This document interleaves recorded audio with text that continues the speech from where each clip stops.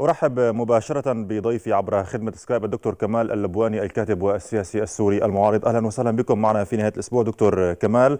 قبل أن أبدأ مع حضرتك بمحاولات روسيا الحثيثة لإبقاء الأسد في الانتخابات أو في السلطة في الانتخابات المقبلة منذ فترة قدمتم أو بدأتم بمشروع خاص بالأزمة السورية كوضع عريضة للتوقيع وقمتم بفضح, بفضح جانب مما تفعله المعارضة السورية. دكتور لبواني مشروعكم هذا يعني كيف يعني الآن لقى أذان صاغية إذا صح التعبير في الشارع السوري وأين وصلتم؟ يعني بعتقد نحن تحركنا بالطريقة الصحيحة التي تناسب الواقع السوري وتناسب المجتمع الدولي لأنه م. الوضع اليوم لا يمكن تجديد للأسد ولا الإبقاء عليه لأنه مرتكب جرائم حرب وجرائم ضد الإنسانية و يعني آه، خرق بشكل فاضح القرار 21 18 م. القاضي بتسليم السلاح الكيميائي وسمعت وزير الخارجية الأمريكي عم يحكي عن ضرورة محاسبة المجرمين اللي خرقوا القانون الدولي وبالتالي أمريكا انتقلت لمرحلة جديدة يعني ما عاد موضوع وضع اقتصادي أو وضع إلى آخره.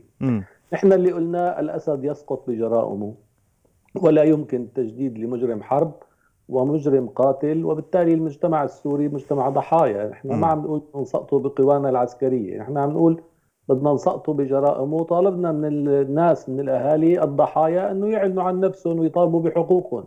وبالتالي القضية رابحة يعني. في النهاية ما في إنسان ما بده حقه. نعم. طيب. طيب جميل جدا. من خلال متابعتي لحضرتك على اليوتيوب دكتور كمال ألاحظ أنك تحاول دائما تحليل الواقع السوري على المستويين الفكري والديني. والمذهبي أيضا برأيك دكتور لبواني يعني يمكن اعتبار المجتمع السوري اليوم غير جاهز للتغيير المنشود؟ بعتقد الثورة اليوم دخلت مرحلة الثورة الثقافية لكي نجري قطيعة مع صراعات الماضي يجب أن نعيد إنتاج أنفسنا بطريقة جديدة تتناسب مع معطيات جديدة م. وبالتالي لا لا مناحة عن عن العودة لكل المشاكل التراثية القديمة اللي ورثناها عبر سبعة قرون من الصراعات والتخلف م. ما ممكن نقفز للحضارة من دون مراجعات وبالتالي هذه المراجعات ضرورة لابد منها لأنه لأنه رح نجدد بناء سوريا بطريقة خطأ وننتهي إلى صراع من جديد م. العقل السوري أو الشارع السوري جاهز لتقبل هذه التغييرات ربما الجديدة أو الأفكار؟ هلأ التغيير الفكري بده بده وقت. وبالتالي يعني ما بنتوقع نتائج سريعة لكن اللي عم نشتغل عليه نحن عم نحاول نفكك أو نشكك الناس بالعقائد اللي مغلقه على على نفسها فيها م. ومن ثم ننقلها لسوية ثانية من من التفكير يعني م. على مبدأ نفي نفي النفي بمعنى إنه بنحكي على كل الطوائف وعلى كل القطاعات الاجتماعية بنحكي مساوئها وبعدين ننقلها لمرحلة أخرى م. وبالتالي بعتقد هي الطريقة يعني ستكون لها نتائج لكن لن تكون سريعة جدا يعني م. م. جميل جدا طيب في لقاءاتك الأخيرة يعني لمست يعني حالة من التفاؤل في كلامك دكتور لبواني وأريد ربما في هذا اللقاء أن أوصف المشهد السوري وليس فقط عن محاولات موسكو لإبقاء الأسد في السلطة كان هنالك يعني كنت تبدو متفائلا بأن الأشهر القادمة ربما سنجد فيها نوع من التغيير. هل التفاؤل مكانه أم مجرد البعض يقول بأنها مجرد أضغاث أحلام يعني؟ وجهود روسيا ستنسف كل هذه يعني الأفكار التي طرحتها وهذا التفاؤل ربما إذا صح التعبير. يعني ما بعرف أنا بشوف انه الوضع الاقتصادي يعني مأساوي جدا. م. الطائفة العلوية تقريبا خرجت من حضن النظام. آه، الجيش فيه تململ كثير نعم. الحاضنه المجتمعيه اللي كانت مأيدة وصلت لمرحلة مزرية، الوضع الشارع برا كمان جيد، الوضع الدولي جيد وبالتالي ما بشوف في في تشاؤم بشوف لازم لازم نتفائل. وعندنا استحقاقات مهمة اللي هي القرار الكيماوي اللي اعطوه اعطوه مهلة شهرين يسلم الكيماوي ويعترف إنه هو خرق القانون وبالتالي يروح على على على المحكمة. يعني مطلوب من الأسد أن يسلم نفسه م. وحتى لو الروسي بده يأخذ فيتو بقرار مجلس الأمن لاحظ إنه تصريح بلينكن وزير الخارجية الأمريكي الجديد قال إنه الروس هن نفسهم استخدموا السلاح ضد ضد شعبه يعني عم يلمح إنه هو لن يعود لمجلس الأمن م. يعني سيطبق القرار 21 آه، 18 دون العودة لمجلس الأمن يعني ممكن يعملوا عمليات عسكرية واستخباراتية م. تجلب تجلب المرتكبين إلى العدالة أو تزيلهم من الوجود وبالتالي في شيء في شيء بده يصير وإضافة لأنه قلنا إنه التغلغل الإيراني بسوريا وصل لمرحلة خطيرة جدا وقوية جدا. لا يمكن السكوت عنه لسنة أخرى.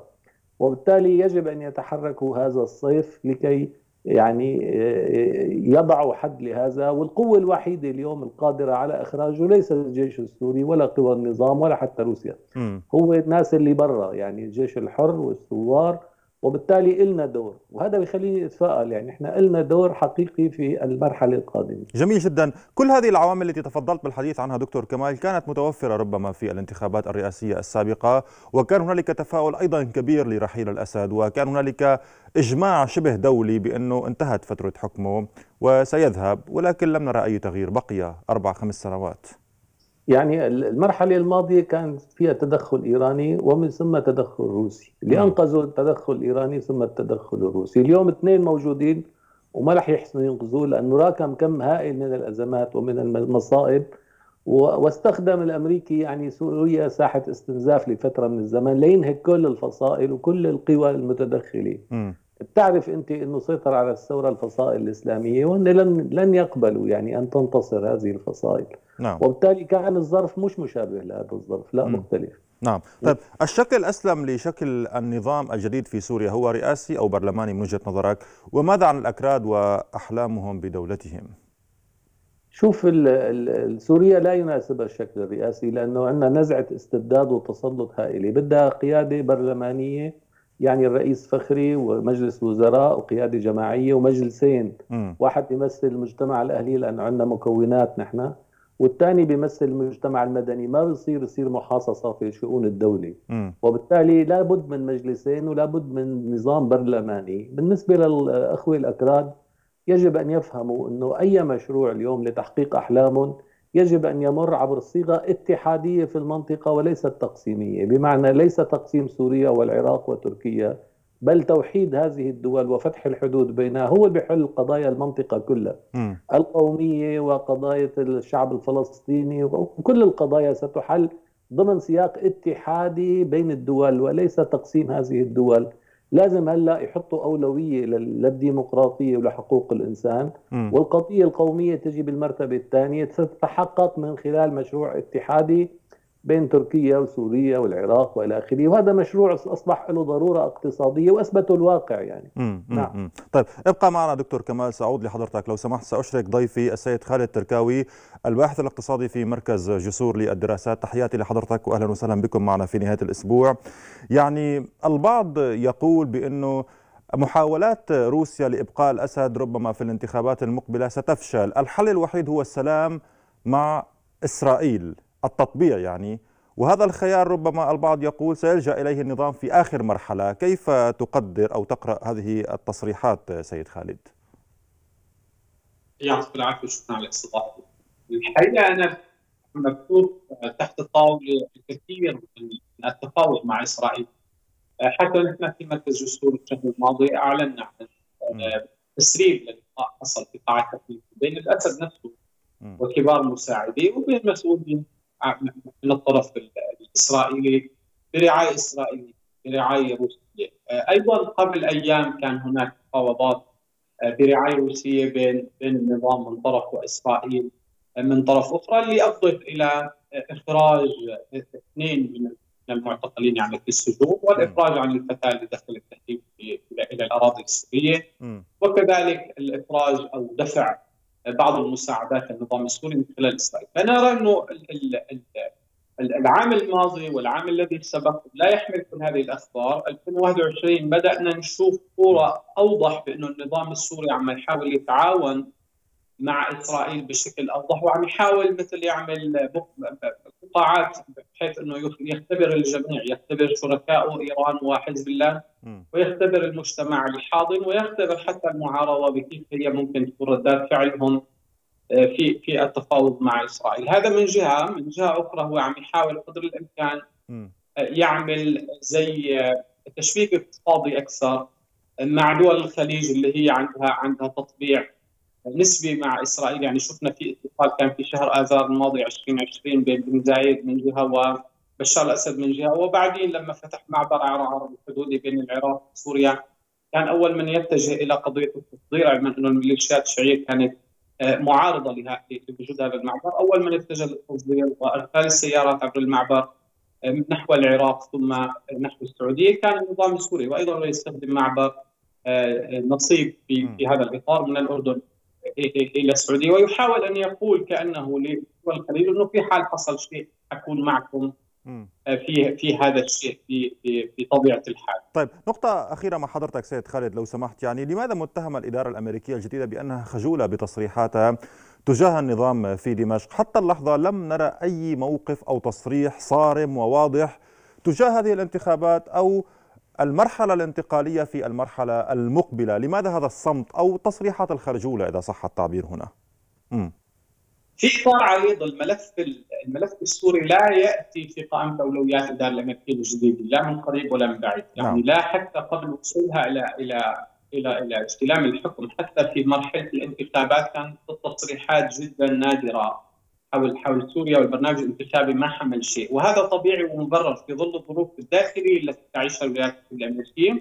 في عندك أزمة اقتصادية كبيرة، في عندك أزمة صحية ازمه كوفيد 19، في عندك إعادة في العلاقات الاقتصادية وأيضا السياسية اللي قطعها ترامب بين وبين دول العالم. في عندك ملفهم مع الصين في عندك ملفهم مع روسيا في عندك ملفهم مع إيران. فأنا أعتقد إنه سوريا لن تأتي في حسابات الولايات المتحده الامريكيه بشكل منفرد كما كانت في إدارة مثلا في عهد إدارة بايدن ولا حتى في بداية عهد ترامب وإنما ستأتي في مرحلة تابعة للتفاوض مع روسيا، للتفاوض مع إيران، للتفاوض مع بعض الميليشيات في العراق.